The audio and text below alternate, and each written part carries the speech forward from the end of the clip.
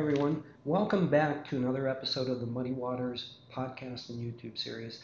And yes, I've been away for a few weeks on vacation, but the news I have for you is the scammers and cyber criminals have not.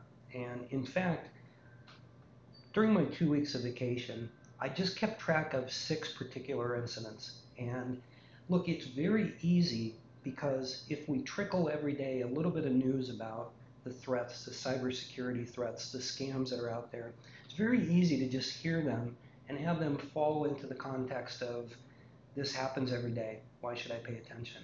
But I want to tell you why you should pay attention. In this two week period we're going to talk about, there were over 337.9 million records stolen in just the past two weeks that were announced. And 15.3 million was scammed, stolen from victims in just two weeks and in just six incidents. These are not all the incidents that occurred. These are only the most recent six that I looked at.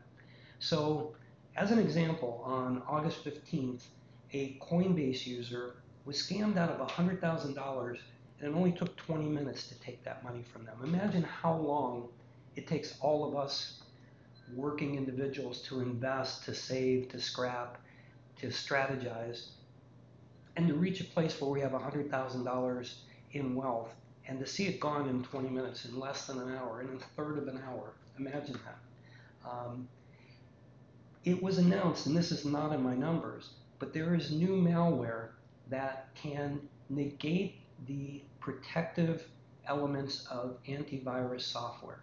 Imagine that for a moment. So we all think, we all have this illusion that if we have antivirus software, then we're protected and we're going to get flagged. And that was the case until recently. On 817, it was announced that cyber criminals had developed malware that can negate the power of antivirus to protect your system from being invaded. Um, wow. So this is a big one. If you are a Mac user, as I am, um, hard to believe, but hackers have now found a way to infiltrate Mac systems, which were previously viewed as the safest alternatives, right? Mostly because so many people own PCs. 60, 62% of all computers purchased are PCs. So that was a natural place for cyber criminals to focus their attentions. But now that Mac users, as an example, in 2021, um, 11 million uh, Macs were shipped. In 2022, 21.9 million Macs were shipped. So put those numbers together, um, you're talking about 32.9 million in just those two years. That's not taking into account 2023 and what's happening in 2024. 32.9 million users are now vulnerable to hackers taking over their microphones, their video cameras, and gaining access to their systems based on these exploits. a cryptocurrency multimillionaire lost just about $15 million. This was done by spoofing an email address and him thinking that it was a legitimate address and including that and uh, transferring funds, cryptocurrency funds, to this scammer email address. This is a social engineering attack, which we've talked about. Uh, 32 million records, um, documents were compromised in the ServiceBridge attack, and that happened on 827.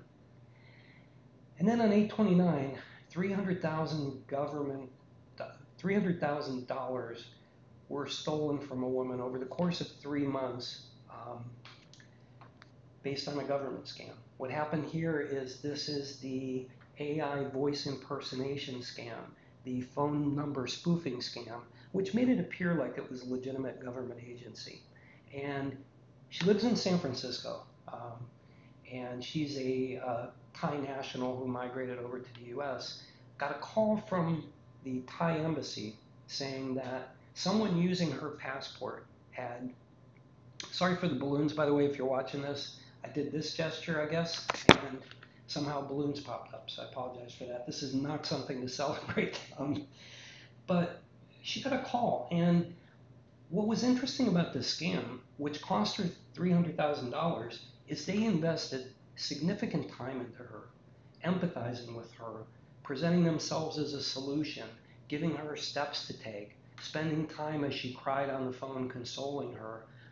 All these things, as we learned about in the pig butchering episodes earlier, are all meant to build rapport, to gain trust, and to look for those vulnerabilities, and then when the time's right, stick it in. Finally, and this isn't even added to my numbers yet, but an insurance software provider had over 1 million records compromised. Think about what insurance records contain social security numbers, email accounts, history of medical illnesses, doctor's offices. Think about the um, recent exploit that exposed 272 million records. This was from a background check company in Florida who was completely hacked. Think about what's contained in a background check, right?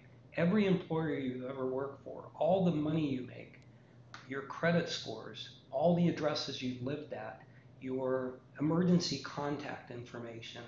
Just think about all the things that, you know, your driving records, your arrest record, if applicable, all those things that are contained in the background check, 272 million of those records are now available on the dark web. So folks, you know, I know that this is kind of a recap of news, getting back into the groove of my weekly podcast and YouTube series. But I wanted to tell you that while I took a little bit of a vacation to spend time with my daughter who's home from college, all these things have occurred in just these six incidents.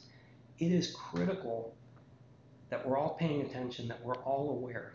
And it's important that you know there's a very, very good chance, based on this last exploit that I shared with you, that your social security number is exposed on the web.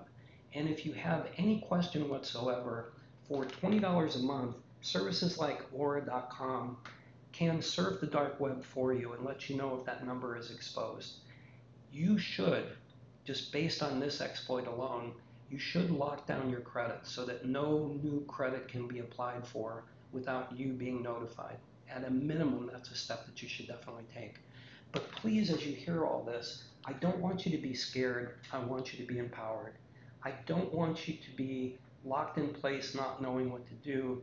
Instead, I want you to tune in to me, to other scam and cybersecurity folks, resources. Do your research online, and by all means, take the steps that are recommended to you to keep you and your loved ones, your finances, and your future safe. Again, my name is Philip Macko. I appreciate you joining, and I want to say it's good to be back and I look forward to future episodes. And if this has helped you, please like, please share. If you haven't done so already, please subscribe. Have a great weekend. We'll see you on the next episode.